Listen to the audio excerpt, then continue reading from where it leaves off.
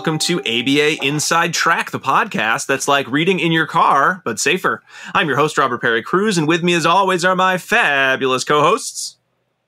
Hey, Rob, it's me, Jackie, from my house today. Hey, it's me, Diana. Oh boy, everybody. I don't know about you, but I'm feeling pretty happy. Perhaps I would even say joyful. How about you? I'm always joyful. That's true. Actually, that's true, Jackie. It's a stupid question to ask you. The answer is, of That's course. my name. Joyful McDonald. And why might why might I be feeling that way? You ask, listener, as you tuned into our latest episode where we talk about behavior analysis and behavior analytic literature, and say what could be the topic today. Well, I, I've I've I've cued you in. You've you've probably guessed it. We're going to be talking about joy. Certainly is one of our topics, and more specifically, as it relates to its place in behavior analysis and its relation to how we can look at functional analyses and preventative treatment planning and how all of that together can be a part of and bring joy. And I don't know about you all, but I couldn't think of anyone I'd rather have on to talk about this topic than someone who has multiple presentations and books that use joy and all of these happy, you know, beautiful terms. Dr. Shahla Ala'i Rosales, who is here with us. Thank you, Shahla, for coming on to the program today. Well, thank you for having me. And I have to say, if you could all see me, I'm smiling because I feel joyful just listening to you make the introduction. That's good. That's what they pay me the big bucks for. My intro, my intro skills.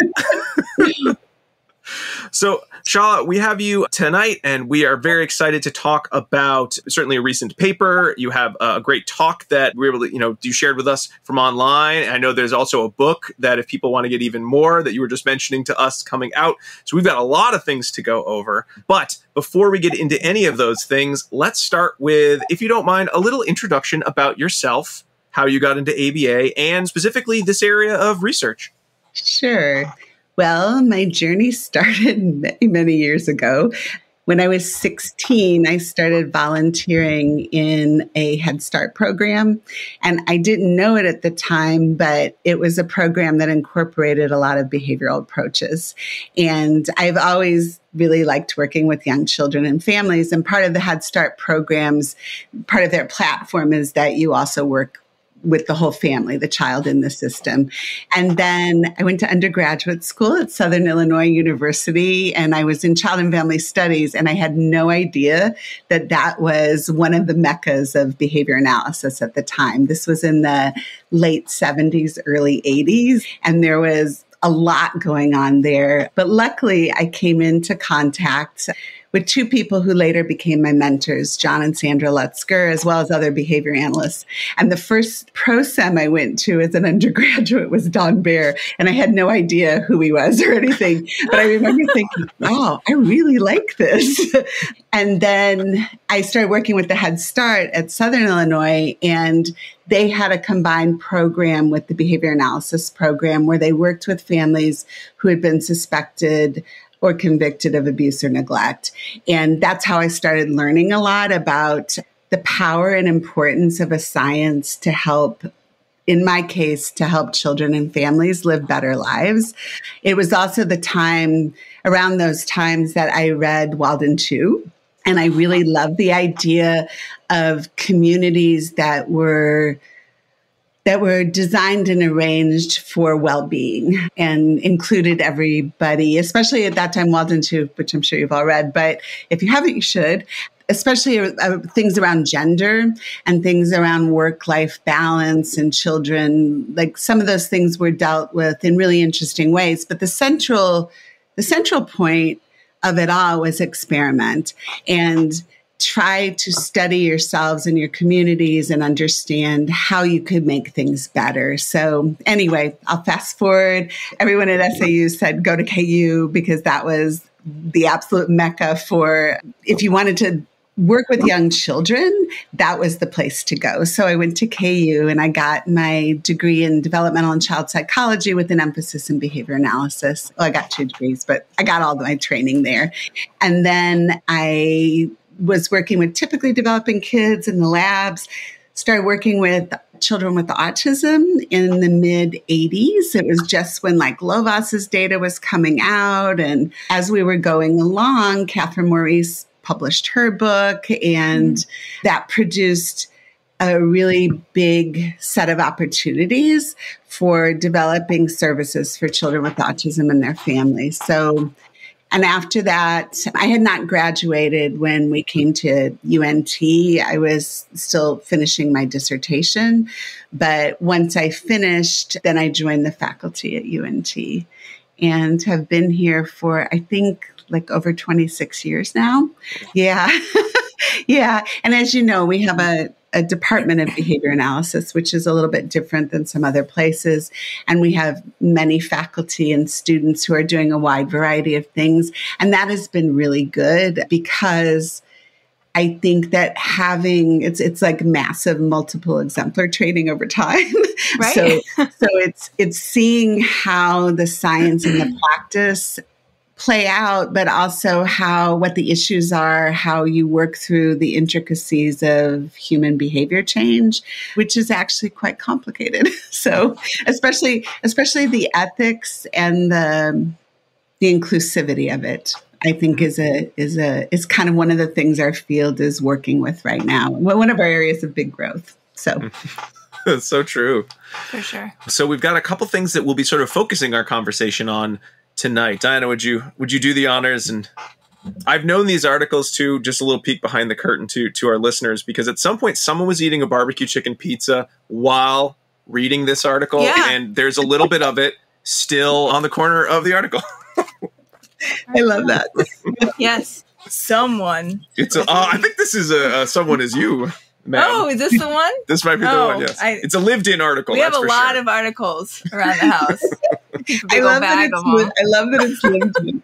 that makes All right, so it's kind of exciting tonight because we have a multimedia approach here as far as the materials that we're going to review for today. So first up, we have a journal article that will be one of our main topics of discussion, and it's titled "The Big Four Functional Assessment Research Informs Preventative Behavior Analysis, and that's by Ala'i Rosales, Cihon, Currier, Ferguson, Leaf, Leaf, McEachin, and Weinkauf, published in Behavior Analysis and Practice 2019. And then we also have a document that summarizes a talk that Dr. Ala'i Rosales has given and the version we have, I believe, was given at the Oklahoma Autism Conference, but I've seen a different version of this talk as well, and it's titled Nurturing Contingencies of Joy. So we're going to thread that in as well. And then, in addition to the article and the PowerPoint presentation, we also now have a brand new book that is just out and available for folks if they end up wanting to learn and read more about this topic and it's titled Responsible and Responsive Parenting in Autism Between Now and Dreams. And that is by Dr. Ala'i Rosales and also Peggy Heinkel Wolfe.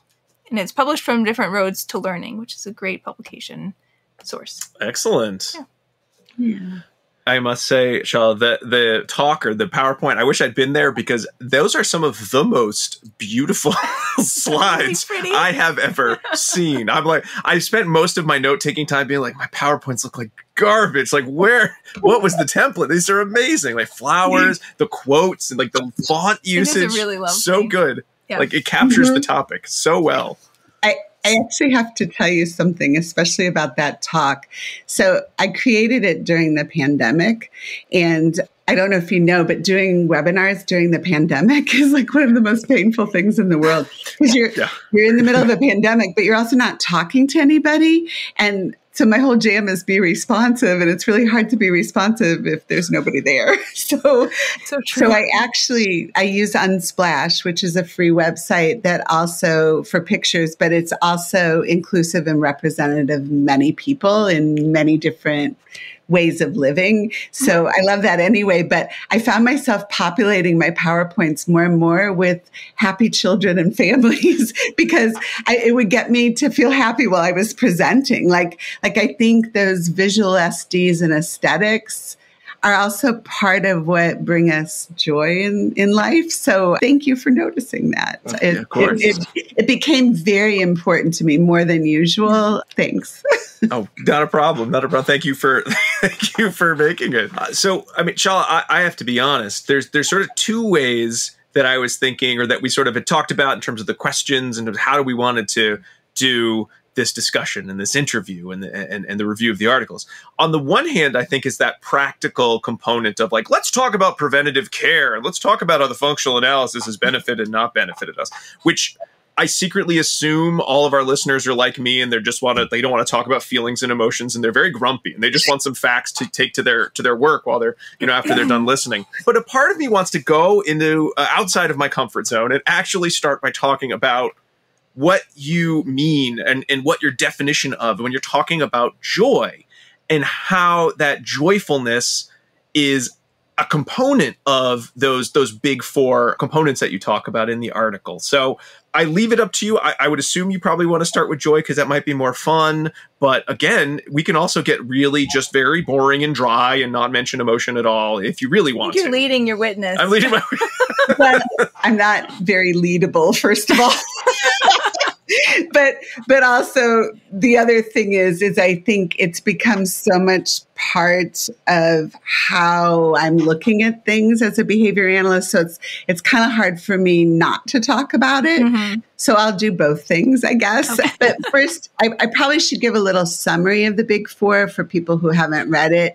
So the basic premise of it is we have over 60 years of this just really important research looking at when people are having difficulty, when they're suffering or people around them are suffering or both, everyone's suffering. We have six, over 60 years of research that help us, that helps us understand that behavior just isn't the topography. It's not just what it looks like or how it feels even, but that the function of it is really important. And and our field has developed methodologies, you know, in in much gratitude to Carr, the the original the early Carr, and then Carr Durand, and then Brian Iwata and all of his students' work over time. But in fact, I believe that work probably would deserve a Nobel Prize if we were to give one for things like this because it's a really important concept. Mm-hmm. And I think that we will continue to need the methodology because it's kind of like malaria. You know, malaria persists and we still need treatments for malaria, but we also know a lot about preventing it and the conditions that prevent it. So the idea is that we're at the point, I think, where we know a lot about the conditions that produce suffering and difficulty for people and there's kind of four of them at least. You know there's variations but but even for all of us whether you have what's labeled a disability or not you know if you cannot communicate what you want or what you don't want effectively and the environment doesn't respond to your communications there's there's going to be difficulty and frustration. If you can't gain the attention, the affection, care from other beings, there'll be difficulties. If you can't find things to do that you can do alone or with other people without hurting yourself or other people, there are going to be difficulties. And if you can't kind of know how to grind, know how to get through situations that are that are hard, but they may be good for you in the long run, then you're going to have difficulties because you may not develop skills. Like, even for example, I'm actually not that fond of giving talks, nor am I that fond of like being watched, but I, I, do go ahead and do it because number one, I'm hoping that it will help other people. And number two, I almost always learn something in the process that helps me do what I do better. So I go ahead and develop my skills in that area and I you know, keep doing it. So anyway, so the big four is this idea. Well, if we know about those those conditions and not just the behaviors, but but the what sets the occasion for them, what maintains them, what the alternatives are. If we know about that, we can look towards more prevention for, for all beings. Turns out it's, it's good for almost every living organism to, to know those things or, or to have some way to operate under those four conditions. So the idea is is at least, especially in our article, really focuses on people with disabilities that maybe we have an obligation from the very beginning to address those conditions. And maybe the obligation isn't just to address the big four, but it's to move beyond just stopping someone from being a pain to everybody else or or to themselves. It's it should be more than that. We should be right. we should be looking at at improving quality of life and that we should be working towards contingencies that mm. that are something more than everybody just stopping you being a problem. And then that's where it leads to joy I, love the way that you summarize that, and I think that that's so important and meaningful. What you're saying is you, there's so much to, to gain out of life, right? And and so many ways that we want to be able to express ourselves and experience what life has to offer, and that's true no matter who you are. Mm-hmm. And the piece that I'm I'm hearing here from you is we're not just we don't want to just be responsive in those situations, right? But we want to teach people how to expand beyond their current situation to be able to access those additional things that they want and need.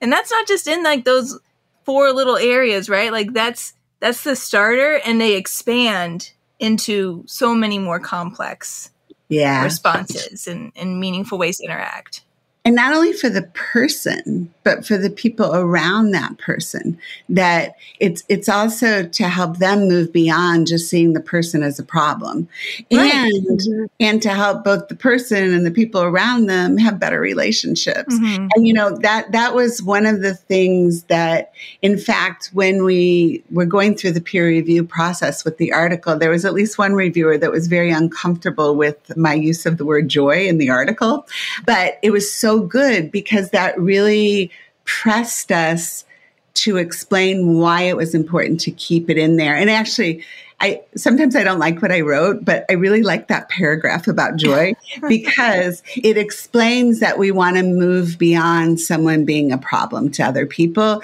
that we want words that describe contingencies that signal mutual reinforcement, mm-hmm. Approach, ascent, pleasure. Like we wanted, we wanted to use words that signal something more. And those are the words we use. In fact, one of the first studies in behavior analysis, I don't know if you know the study about Dicky that was published in 1964, but from the first day I read that in the 80s, I guess, early 80s, what was impressed on me was yes, he made phenomenal change, but that last paragraph where they say his family found joy, like they used the word joy in 1964. It's not a new thing to us to talk about important feelings. So, Charlotte, when, when you talk about joy, or when others talk about joy, I mean, is is it really just kind of the the shorthand for everything you just described in terms of you know indicators of happiness approach uh, you know approach to activity engagement is it more than that i mean how do you think about that i think about it in complicated ways.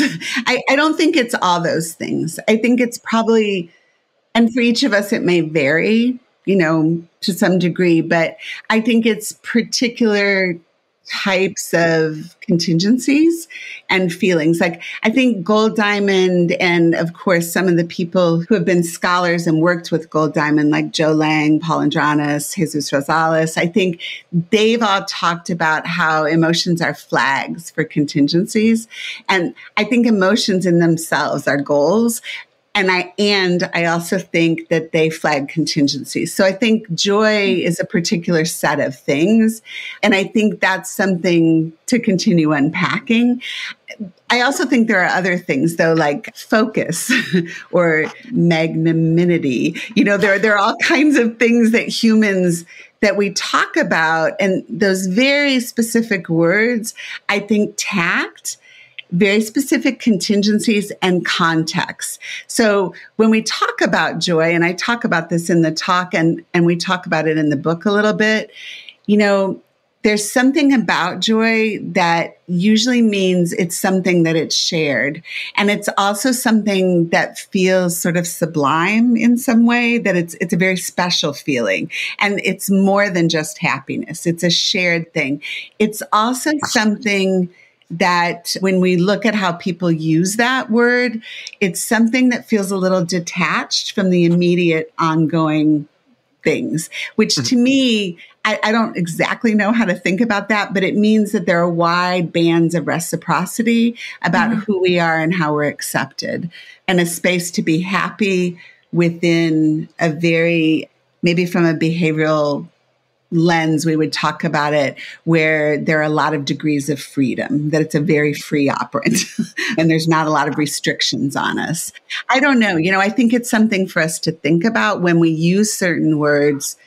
What are we talking about? And I think, I think there are words like that that we're talking about very specific ways and conditions. I know in one of the one of the slides in in your talk you sort of have you know joy and then like lots of different phrases or, or words that that kind of relate to it. And i know the one that jumped out at me was joy as act of liberation. And you kind, you kind of mentioned it sort of like you know the joy being kind of a free operant but i i sort of more think of it i think in line with the idea of prevention that idea of uh, we can start from the beginning teaching these skills preparing our children to engage in these skills and and that feels more freeing in a way than yeah there's a problem. We got to solve this problem because right. as long as this problem's in place, the individual won't be able to, you know, access less restrictive environments.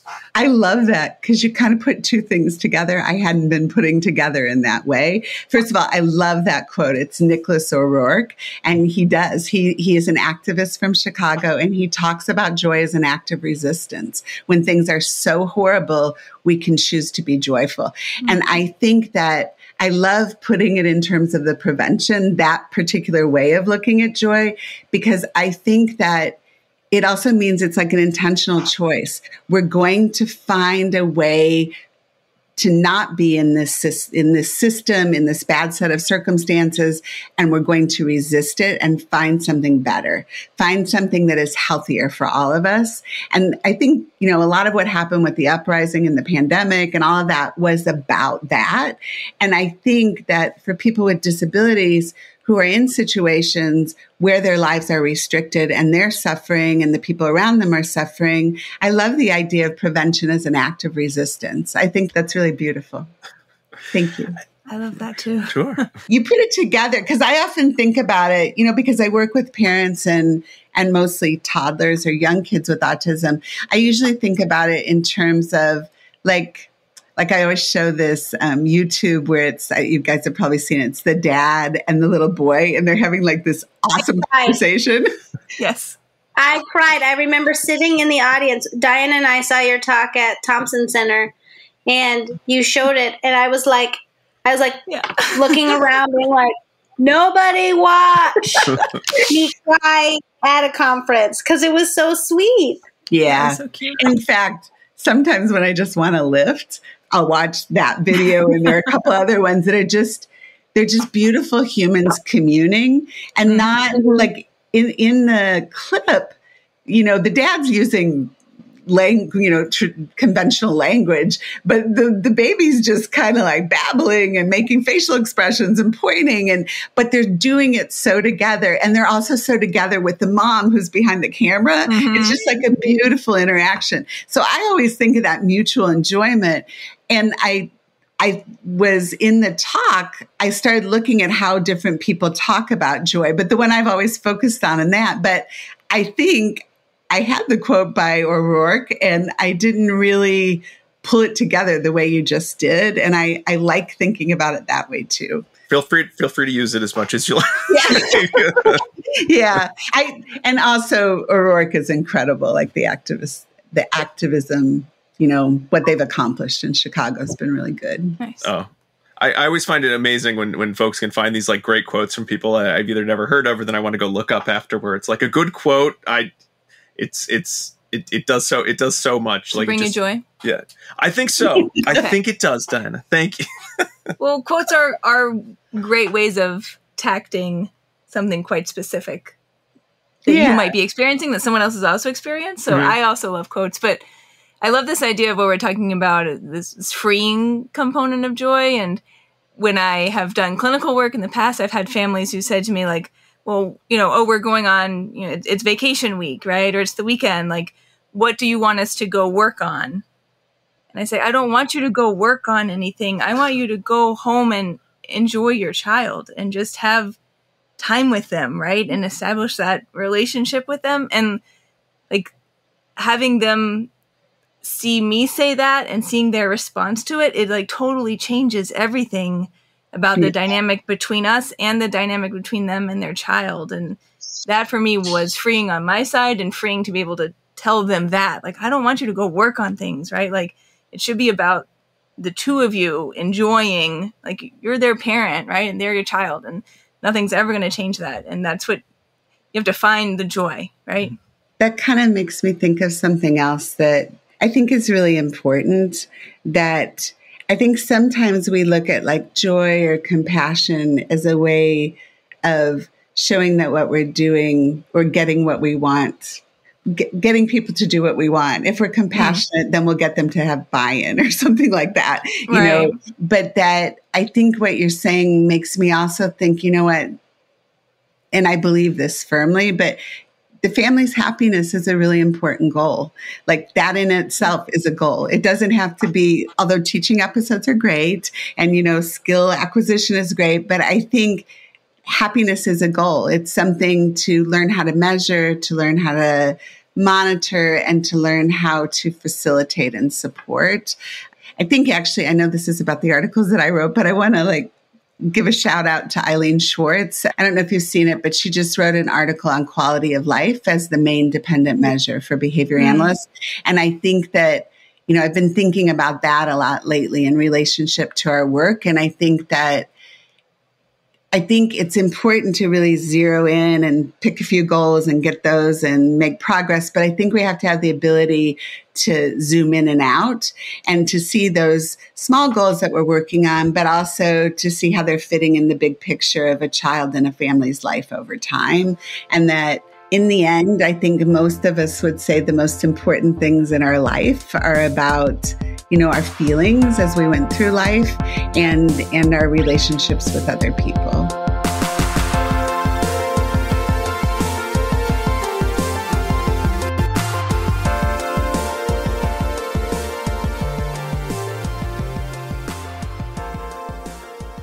Do you want to be a BCBA? Sure, we all do.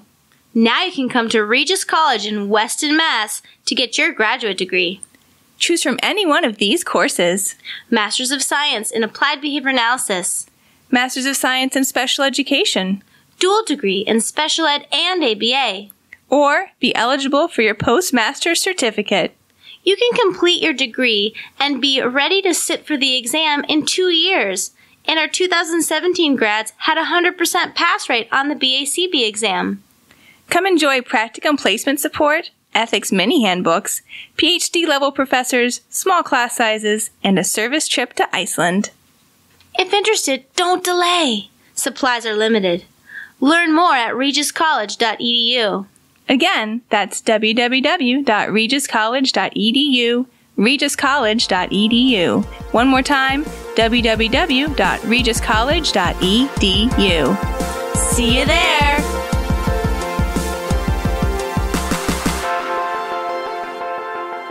Sorry, everybody. Just got to put our conversation on pause for one second to remind all of our listeners that ABA Inside Track is ACE approved. By listening to our show, you are able to earn one learning credit. All you need to do is finish listening to the show, of course, and then go to our website, abainsidetrack.com. We have so many episodes at this point that we've sort of had to break the CEs into get CEUs and more CEUs. So this is more CEUs, but you know, this episode, because because we've gotten into the more stage, I should say. I'm sure you you care very much about the nitty gritty of website design. In any case, you can also go to the link in the show notes that'll be on your podcast player or on the website to go directly to the page where you can purchase CEs. You are going to need, no matter where you go, no matter how you get there, you are going to need two secret code words. Uh, I've got the first of those right here, and these are our secret guest code words from Dr. Ala'i Rosales. And the first one is community. C O M M U N I T Y, community, which refers to a lot of things, one of which is the community of practice that we all hope to be in to continue our work in preventative treatment as well as our you know, kind of you know thought processes behind things like how do we add joy to these interactions, uh, as well as the community that we would like all of our children to grow up and be nurtured in. I suppose if you want to, we could even refer to the short lived but highly influential NBC sitcom community. Whichever one of those you like, probably the first two, but you know, check out the third one if you got time. Community. And now back to our discussion about joy and the big four with Dr. Shahla Ala'i Rosales. So Shahla, when we look at the at the, sort of the big four that you you know put forth in in the paper, you know, reading the paper and sort of thinking about them and thinking about you know preventative treatment or I don't know if it's treatment if it's preventative, but that that engagement.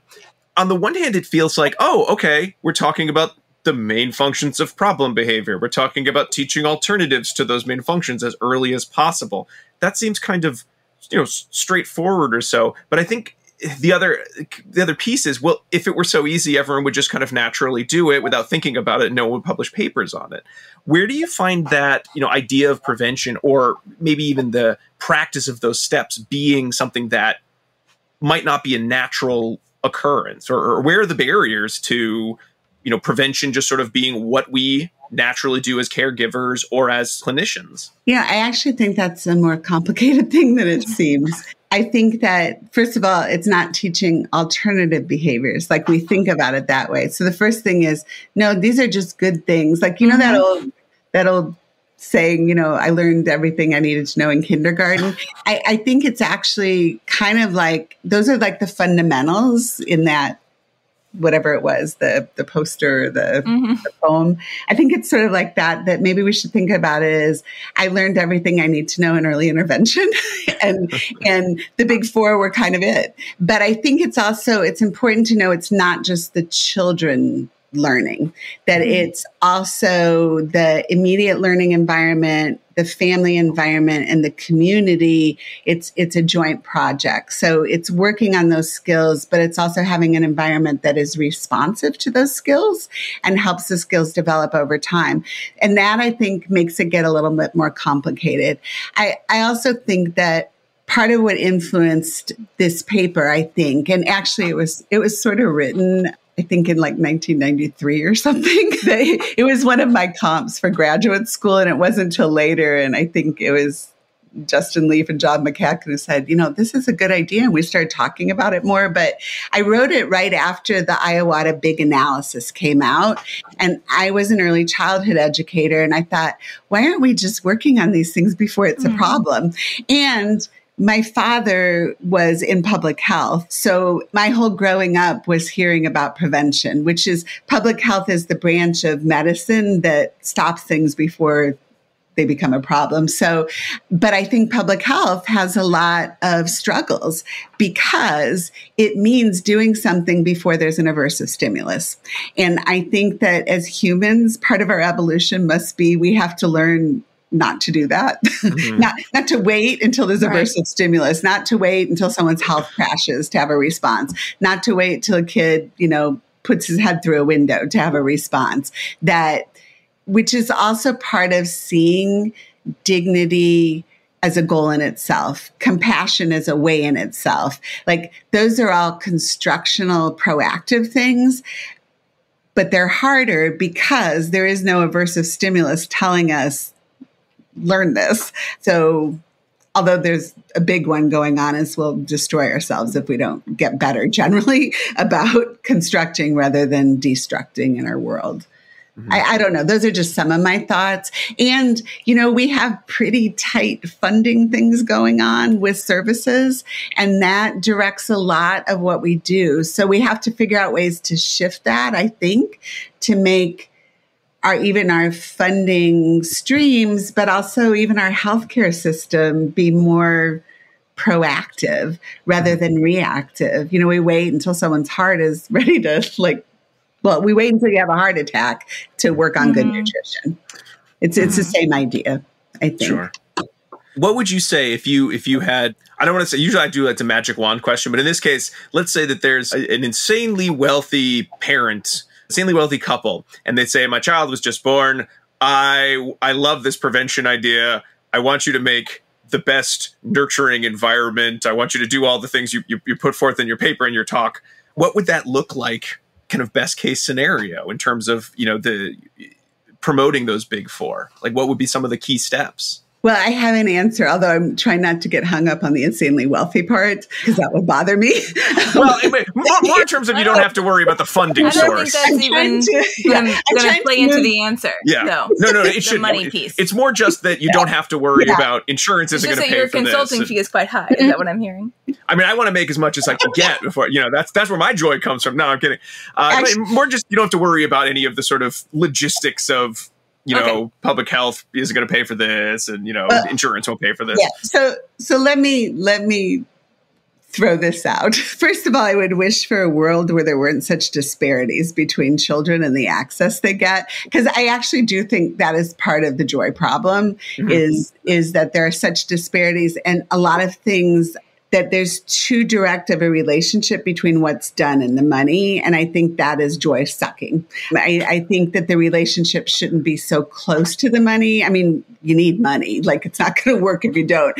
But I think that it shouldn't be such a close correspondence between what we do and access to the money.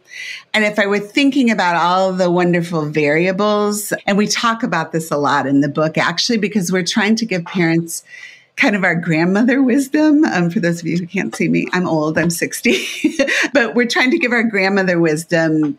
And in the book, it's me, who's been a practitioner for these years and for almost 35 years, and Peggy, who has been the parent of, he's now a young man with autism, but she's also a journalist and she's covered a lot of different things. So we actually spent 10 years writing the book. We did a lot of other things. We were raising children, taking care of parents, all of that. But, but we thought about this. We thought, well, what are the wonderful conditions that could produce really sustainable and meaningful and joyful progress for a child and their family over time. And I think part of it is resources, whether you choose to do, you know, one on one at home or in a center or an inclusive setting. In all places, there needs to be enough. You know, everyone needs to have access to food and shelter and and the staffing ratios have to be decent enough for things to happen. And people need to not be very stressed. So there are context things like that. I think the other thing is that the people that are helping put together things you know the the behavior analyst the social worker the early childhood educator the parent all have to have the space to work together. Like there needs to be time and energy and desire and motivation to do that. And from the behavior analyst point of view we kind of break down like thinking about it like a master chef. You need to know about chemistry. As behavior analysts, we need to know about the principles of behavior and how it generally works. And you need some basic good recipes. As a behavior analyst, same way. We need some basic treatment programs. And I think the big four are the basic intervention programs or teaching programs. So you need good ways to teach those things to very young children. And then you need an environment that will appreciate all of that and help move it forward. So, and I think for me, and this may be just how I was trained, but it's been really important for me to be in settings where there are typical children. Even having my own children and grandchild has been important because I see like the kinds of things you should help kids learn to talk about. And also the range of how children are. Like some of them really do spend a lot of time on one thing and are really very interested in it. So that's not like a horrible thing that right, sometimes yeah. people are very afraid of that children with autism do. So I think I think it's also being able to take the approach of expanding rather than contracting a child in a family's world that all of the programs and all of the teams should be working on expanding and not contracting, not stopping, but but opening up new possibilities.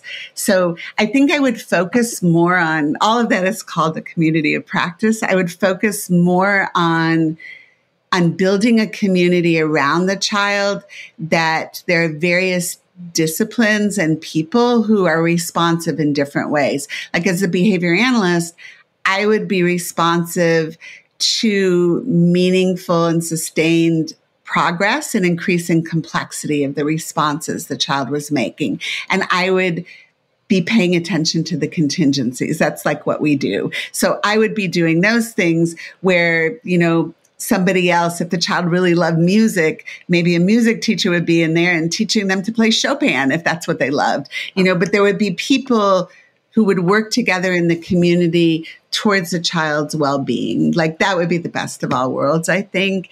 And that the child, which is probably the next thing, is that they would also be working on the child developing their own agency in the world. Mm-hmm. So the child could start saying, this is what I want things to look like, or this is how I want to spend my time, or I don't care for that style of teaching. Thank you.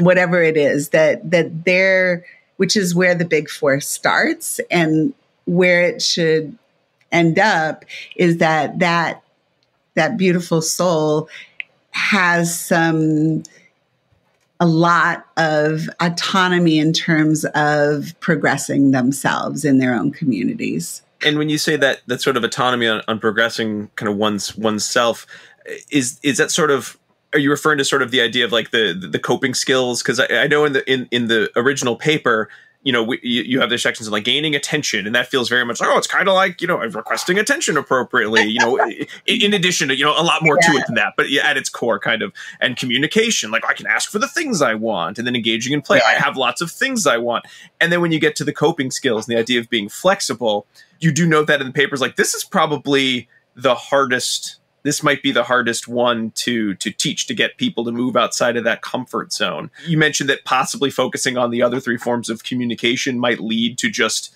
a lot of coping skills sort of developing on their own. But I mean, am I oversimplifying it when I sort of hear kind of what what what you're saying, or am I completely missing the point of like if all of these are in place, we set up the individual for wanting to explore, wanting to move outside of just the known and the few things that they have at hand, and wanting to engage in in more of their environment, to try new things, to to be brave, to to find joy in the new. I mean, or or am I just going too far in one direction or the other? No, no, no. I I, I think you've you've got it. Well, first of all, I think this idea is so in its infancy. You know, mm-hmm. even our functional analyses are so in its infancy, but the idea of, okay, so we've got, let's figure out how not to do those things. That's number one. And number two is, okay, you're not doing those things. How can we build the complexity of those things so you end up being a human who can navigate your own environment in the ways that you want it to be navigated and that you will have good relationships in your communities. And it may be, you know, like I personally choose to spend a lot of time doing behavior analysis or doing my art. So, like, I have maybe three activities my family, behavior analysis, and art, you know, maybe a couple more. But so I may choose not to have 15 things that I do, but that has been a process over my lifetime. So I think the goal is as much as possible that that the people that we're working with our goal should be that they can start to navigate that themselves or with the help of whoever they want to help them. That also gets more complicated in terms of the cultural aspects also because you know there are more individualistic cultures and more collective cultures. So to a certain extent i don't really make all my decisions by myself because i i come from a more collectivist culture. So i will call and you know ask three family members what do you think of this? and we'll consult on it and i'll get their input and then there'll be a decision. So it's not i'm just going to do this because i want to. So so that also will vary depending on the individual's context and you know where where and how their family is situated but the idea is for all of us like even i'm sure you all experienced in the pandemic like the conditions change so much like I have had to awkwardly learn new ways to communicate with people and to communicate with people who are really stressed. Like I watch my kids making school transitions. I watched my grandchild making school transitions. I watched all the youth that I work with and young adults. Like there's been a lot of stress in different ways. People have died around them, you know, they've lost jobs, all kinds of things. So we've all had to learn new ways of doing most of the big four actually but we had learned to learn. And we're learning, like even doing this, like I love the idea of the podcast because it's learning to talk about different things in new ways. And that's a really important thing, I think. So this is actually what we're doing right now, I think is one of the big four or several of them probably, but it's, it's us developing the complexity of our skills in those areas. Mm-hmm but I don't think we have a technology of that. Nothing even close to it. I'm mm-hmm. I'm really glad we you know you brought in the the culture aspect too because I think we as behavior analysts need to do that a lot more, right? And look at the context and where and where our clients are and what you know what their lives are like, so that then we can give them the best suggestions, right? So parents will be like, what should we do, right? I don't know what to do. If we don't have any knowledge about the context in which the family is coming from, we might give suggestions, right, that will be maybe counterintuitive for the culture. So I'm, I'm just glad that we're, we're talking about the importance that culture plays in the big four in, in cultivating joy. It's a really big one. And it's one we have so much to mm-hmm. learn, all of us. I, I think it's, it's, we actually, we just wrote a chapter for the handbook on applied behavior analysis and autism. And the title of the chapter is Be Humble, Care, and Learn, because I think there's so much humility. And Patricia Wright has written about this in beautiful ways. And Nasiah Ulezi Cirincione has also written and spoken about this. There are two people definitely to to watch. But I think that I don't think we even understand the depth of of what we need to understand yet. Mm-hmm. But I do think one thing I hope that we will work towards is within our funding streams and billing structures. I would hope that we can work towards having more in depth time with families to understand more of the cultural context. Because I also think it's not a kind of one and done thing, like a no assessment really is. But I also think people are in the process of learning how to understand their own cultural context and communicate about it and and that takes time and then to understand somebody else's and to communicate your own that takes more time so i think there are things there, and the more different we are from the families that, that we're working with, the more time we'll probably need to figure those things out. But I think like I'm so happy to see what's been happening in our field. Like our journals have all had special issues. There's a lot more training. There are companies that even specifically help in this area, which is really, really good. You know, we're talking about sort of trying to combine a lot of the technologies we have to create sort of a, a, newer technology. So you know, the individual parts might have the research, but sort of this idea that we're discussing is is is still not actually theoretical, but it's not like here's the joy plan that we've been putting in place, and we have lots of research on that. We've really talked about it in terms of that early intervention, the, with working with young children, because you know it's hard to be preventative with an adult to some extent. You know, I guess we can to some extent. But do you see this idea of you know joyful interaction maybe even using some of the the the, the dance acronym the idea of you know designing and oh, arranging being in the now contemplating enjoying those interactions. Is that something that you would like to see expanding beyond just this is something you do with little kids and once you're four or five like you're not little anymore sorry, it's back to the real world and the grind, and we're just going to talk about our basic contingencies and learning from our you know aversive situations. Oh, am I jumping the gun on even asking that question though? I mean, no, no. I think well, so we have this dance training that we do with toddlers and parents, and and dance is both a metaphor and an acronym, and basically it's a just a nice way to work on a relationship and to have back and forth mutual reinforcement, but also to teach parents about how the three term contingency works in that relationship.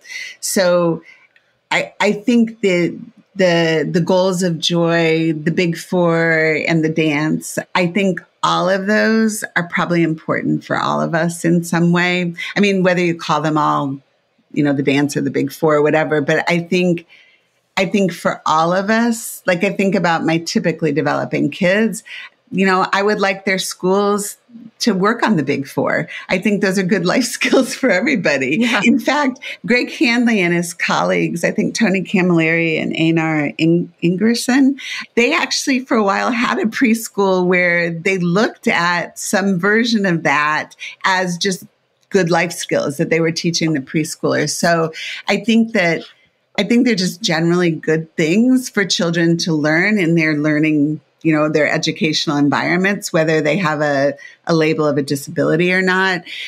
And i also think that in general and this is something i got from head start and from you know what i learned from project 12 ways is that it's just really nice for parents and children to learn good ways to respond to one another that help their relationships grow in healthy ways. And and so i think I'd like to see that like prevention for all in those ways that, mm-hmm. you know, and in some places, like in, I don't know if they still do this, but like in Australia, they have these beautiful parenting programs that just start out for everyone. So it would be nice if we, if we just had it in general for everyone. And then it got more tailored depending on, you know, if, if the family or the child or the community had more needs, then there would be more refinements would you say it's it's it's never too late to try to create those joyful interactions you know at, with, oh. with, your oh. family with your clients? Because I, I, I always hate the idea of you know people have, i love talking about prevention because it feels so it feels like we said like liberating. And then people are like well what about everyone who's in their their 40s and they're dealing with all these problems? And i never want to say like no no too bad. They missed my awesome program yeah. that you know i don't know. I, I still find joy in my life right? But when did you start? Did you start later on in life or did you start earlier I've always found joy, Rob. so much joy. But, but, you know, also like we have a you know we have a teenager now, and like our relationship with him has definitely changed over time, and you have to you know find new ways to how how your relationship's going to grow and change over time, and the joy that's in there is going to look different at different points. Well, maybe it's a maybe I'm asking the question wrong because I, I think a lot of times maybe it's just my perspective as the behavior analyst coming in like, "Hi, I'm here to help the client," and the client's in their 20s or they're 18 and you, you, sort of are doing the history you're looking at, at the past and you're sort of you know in the back of your mind you're trying not to say this out loud but you're sort of like oh why didn't they do this 15 16 years ago? Oh if only this had happened so much longer ago. Yeah. No no i i definitely hear what you're saying and i think because i work and always have worked with young children. I focus on that. But I have also worked with the older kids. And I'm also working in a counseling program with adults who have, well, youth who have very, very difficult circumstances. And sometimes I think, oh my gosh, the same way as you. But you know what? I think that on one hand, it's it's always good to work for improving the system and starting as early as you can. That that's kind of a, a given. At the same time, life happens and all of us have different challenges in different ways. And I think as humans, we are happier and we feel more meaning in our life when we, whatever the conditions are, we say, how can this be better? How can we improve it? And I think you take the big four and I mean, if you look at most of the FA studies, like the treatment is usually functional communication. So, you know what? No matter what, whoever you're working with, chances are all of us need communication mm-hmm. help. Mm-hmm. All of us need relationship help. All of us need and want skill complexity help with our leisure skills and what we like. And all of us want to learn to do the hard things in better ways, in mm-hmm. easier ways. So I think no matter what it is, you can step in and say, okay, this is what we got, and this is where we can improve it. You know, which is a great thing about our field. I think in the the white book, you know, Cooper, Heron, and Heward talk about this being a hopeful science, and I think part of the hopefulness of our science and practice is that at whatever point we walk into the show, we think, okay, this can be better. And hopefully we talk with everyone and say, how do you think it would be better? What would you want it to be? You know, that that's important. All of these are about providing agency to our clients in varied yes. ways. And I, I used to do EI too. And and I would say that to my my teachers as well. It's like, why would I wait until there's a problem to teach them how to say that they're all done with something or to teach them how to ask for help or teach them to you know point to what they want like these are going to be lifelong skills independent of whether this is going to present later as a, you know some type of you know trigger response, right? Like we all need and learn how to do these types of things, so we should be yeah. teaching them from the get go. Mm-hmm. Yes. Well, I, I, I, know we're almost at the end of our time, so why don't we move into our last section of the show, the dissemination station. there we Jake, Jake, you sounded a lot like that old Ferris Bueller song on that one. It was like bop bop. Makes me want to Twix. yeah. well, you know, I just you know, I changed it up. I changed it up. I'm in a new location, new location, new train, new life so Shahla, in this section, we sort of try to focus on like what what's the big take home point, or what's the sort of actionable step. So if someone's listening and they're like, I don't know, or I want to give it a try, you know, what's the I don't want to say the lowest response effort step, but sort of where where could they begin, or or or what would they be thinking of in terms of taking your work and then sort of reflecting on it as part of their practice. So, what advice would you have for the practitioner who says, I like this joy stuff, but now what?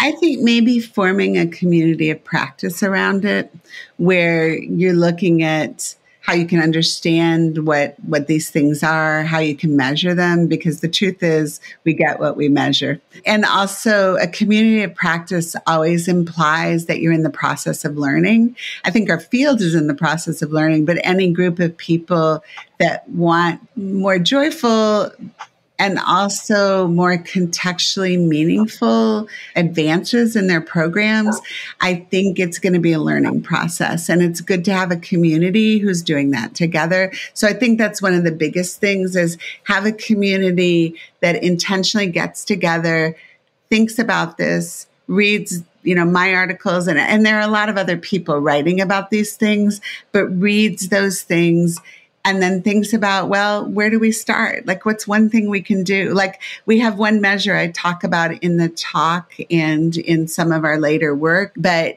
this came out of the Koegel lab. Ty Vernon and Koegel had a measure of synchronous engagement, which I love because it's, it's about either the therapist and the child or the parent and the child moving together in their engagement so we use that. We call it the triad of care. We use that measure in addition to the teaching episodes that the parent or the child is engaging in. And then also counting the child's skill increases. So we look at those three things. So I think that's an easy place to start because you can kind of look out and see, well, if we look at the engagement of people in our care, you know, do they look happy? Do they look like they're working together? Is there less downtime?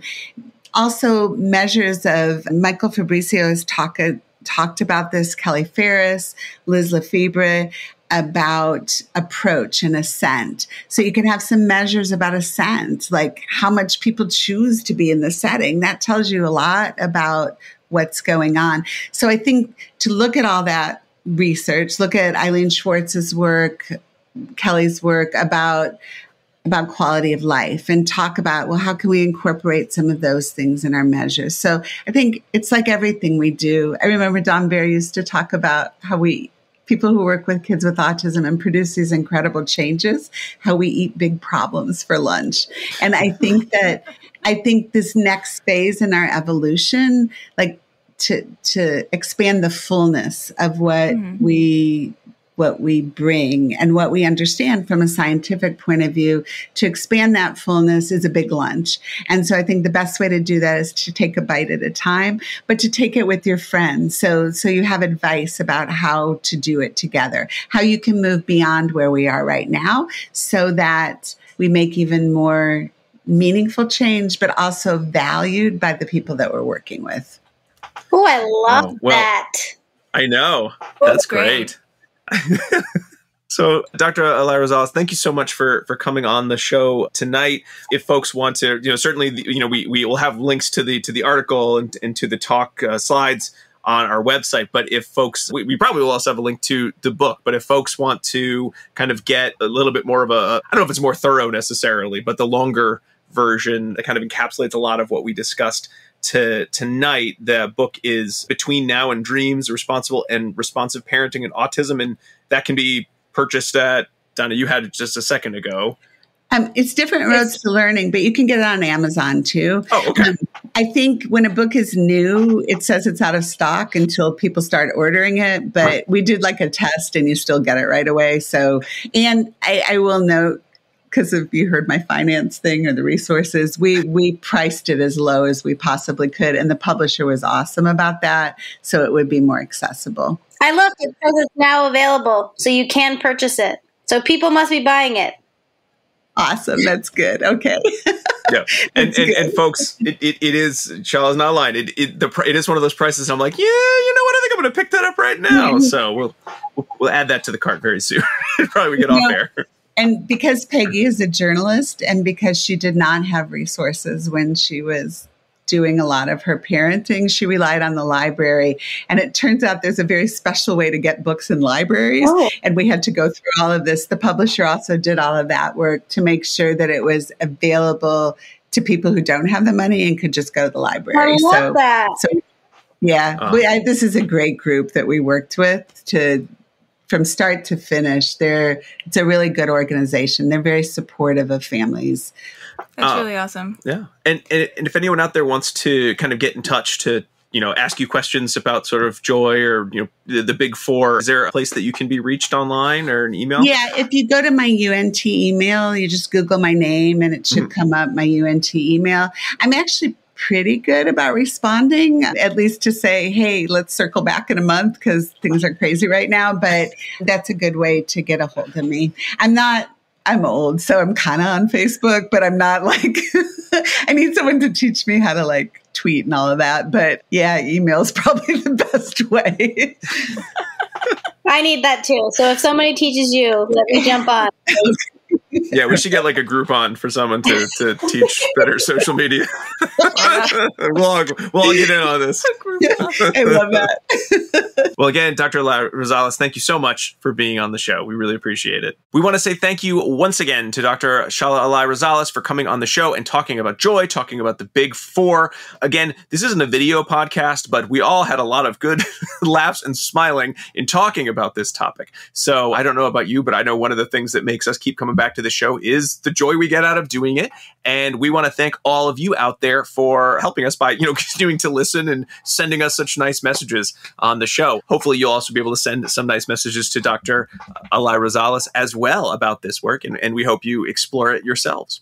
We'd really appreciate it if, in your joy of podcasts or listening to people talk about behavior analysis, that you subscribe to ABA Inside Track. Maybe leave us a review on Apple Podcasts, Spotify, Stitcher, wherever you like to get those podcasts.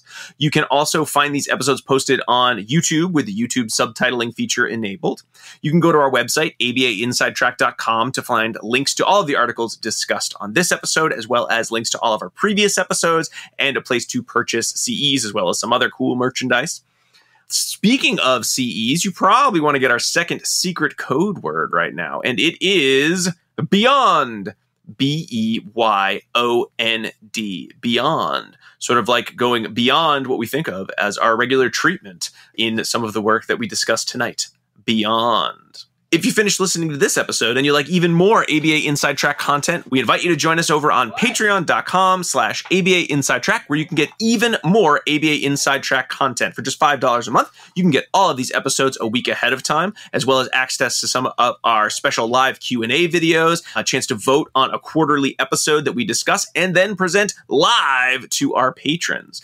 And if you say, you know what I'd love? Longer episodes, maybe about a book rather than an article. Well, hey, we got got the thing for you. If you subscribe at the premium $10 level, you're able to get access to our quarterly book club podcast. We just recorded, so for patrons, this is already available, our talk on The Nurture Effect by Anthony Biglan, where we talked for two hours all about preventative care on the global scale. So if you like this episode, you may like that discussion. And did I mention that all of our book club episodes on our Patreon feed come with two CEs at no additional charge? Just to increase your potential interest. If that topic's not enough for you, we also have hours and hours of discussions on books such as Meaningful Differences, Neurotribes, and Nudge, the behavioral economics book, or uh, Dog Training on the other end of the leash. We've got a whole bunch of books that we have already discussed. And again, that's at patreon.com slash ABA Inside Track. You can always send us an email too at abainsidetrack at gmail.com. I want to also thank Dr. Jim Carr for recording our intro and outro music, Kyle Sturry for his interstitial music, and of course, to Dan Thabit of the Podcast Doctors for his amazing editing work. We'll be back next week with another fun filled episode, but until then, keep responding. Bye!